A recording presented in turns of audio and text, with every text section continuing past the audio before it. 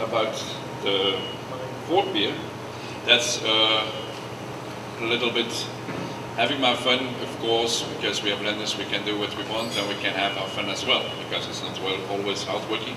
We, we could do, and we find some special barrels, it happens like that. So this uh, J&J has been bottled in uh, 93.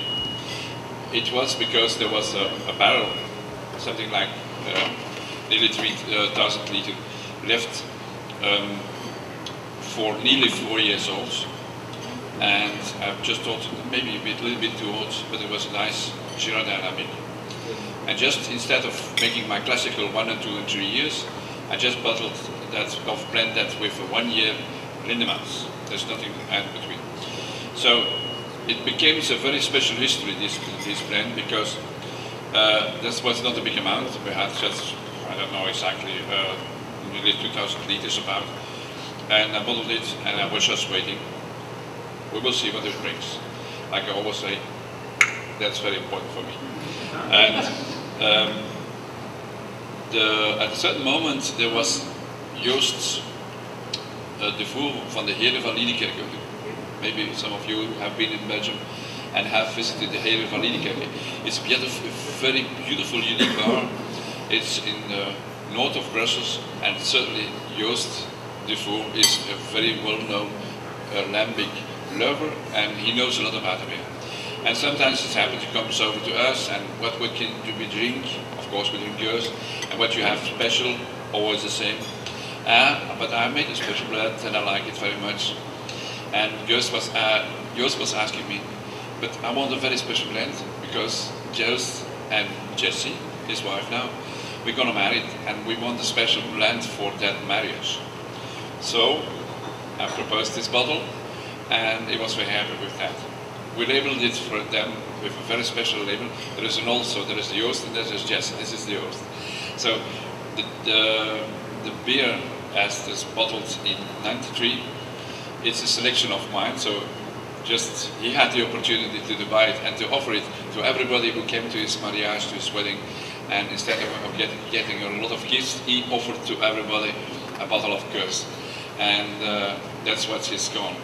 It's living now a special internet or wherever um, live because people are talking about the J&J and a lot of other things. So I just saw the face of uh, Daniel because he surely you cannot buy it anymore because we are just have a few bottles and you ask me to, to drink something special. That's for making him jealous. Do you know, uh, well, so you don't even know which one this is. It, it would have different different people's lambic from, it could be, is it uh, is it from Lindemans and from Frank, or do you know? Uh, no. It's Girardin and Lindemans. Oh, okay. And I, I think, um, Jean, did you want to say something about? Why, why we don't feel many Yeah, yeah. Yeah. Like, like you see, uh, the beer from Armand and Frank uh, have the name Oude.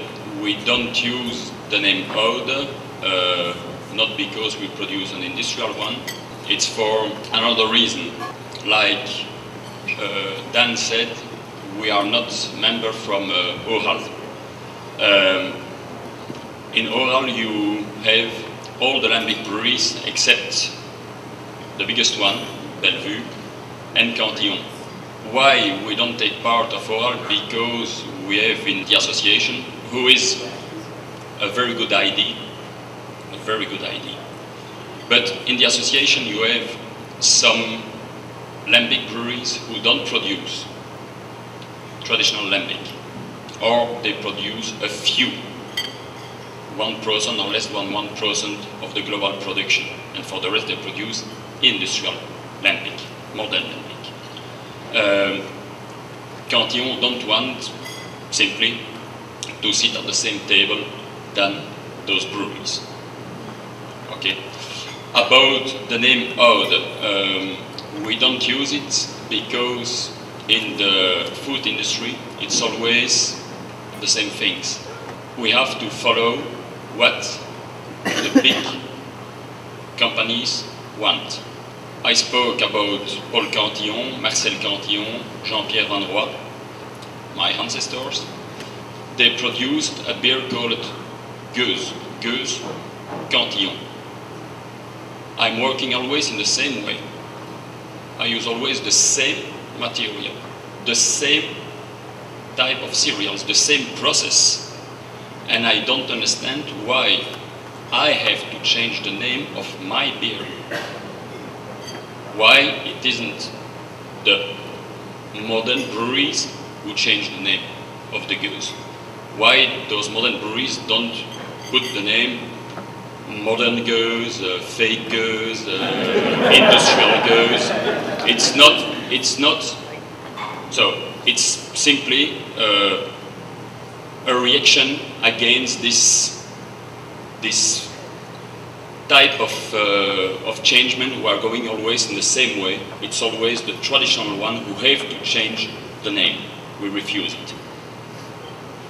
Okay, there's the controversy I told you we wouldn't have. Then, precision.